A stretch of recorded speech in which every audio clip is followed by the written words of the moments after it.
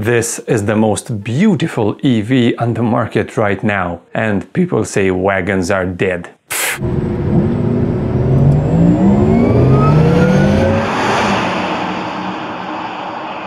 Basically a beefed up version of the regular Taycan, this is the all-new Porsche Taycan Cross Turismo, a concept car turned series production EV. So stick around until the end of this video to find out how Porsche is keeping the wagon flame alive at least until it makes its first electric SUV. Okay, so people already know that, at least on paper, the Porsche Taycan isn't exactly a better EV than the Tesla Model S, but with the reveal of the new Taycan Cross Turismo, the German brand went from spec game to beauty pageant. The specs are basically the same as with the regular Taycan, but the looks department is where the Cross Turismo shines. It's just stunning to look at. There will be four variants available, all with all-wheel drive and all with the Taycan's 800-volt battery architecture. A two-speed transmission is also standard, just like on the all-wheel drive Taycan. Now, even Porsche admits the Cross Turismo isn't designed to be a rock crawler, thanks Captain obvious, but all variants feature air suspension as standard that offers a 20mm higher ride height. Also, there's a standard gravel mode that can raise the car an extra 10mm and an optional off-road design package that adds another 10mm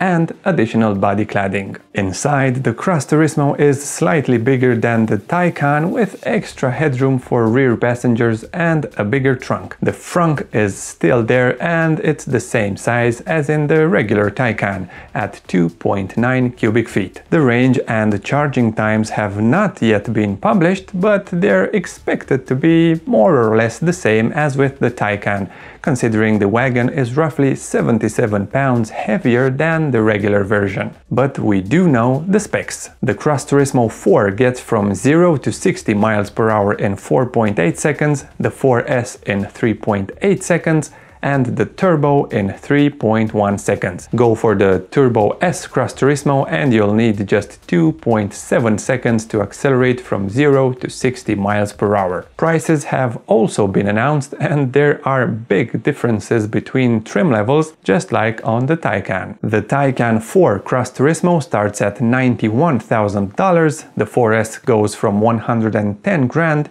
the Turbo starts at 153,000 and the Turbo S goes from almost 188 grand. That's double the price of the entry-level Taycan 4. But hey, at least you can order an all-new Porsche e-bike with a carbon frame and Fox shocks in the rear for just $10,000. Not cheap, but cheaper than the car. The fact is that the Porsche Taycan Cross Turismo is the only thing that looks like this in the EV segment, at least for now.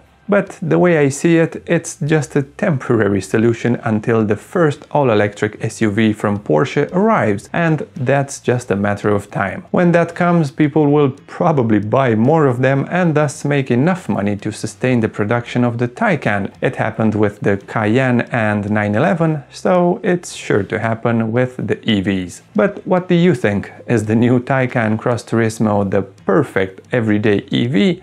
Let me know in the comments below. Also, don't forget to subscribe and click the bell icon to get notified every time we post a new video. It really helps with YouTube's algorithm. Thanks for watching.